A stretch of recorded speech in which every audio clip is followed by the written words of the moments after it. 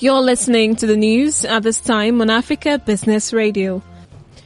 South Africa's rand reignited its rally early on Friday, spurred on by the European Central Bank's a larger than expected increases of its stimulus program, attracting investors looking for risk assets.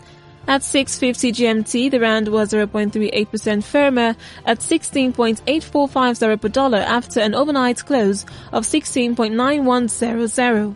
The ECB increased its emergency bond purchase scheme by 600 billion euros, more than expected to 1.35 trillion euros on Thursday, and extended the scheme to mid-2021, and the latest move by a global central bank to ease the economic blow of the coronavirus.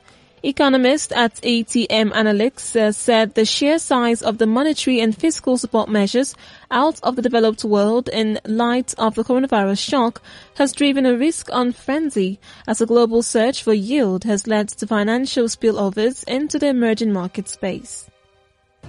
That was the news at this time on Africa Business Radio. You can continue to listen live online at www.africabusinessradio.com or via our mobile app.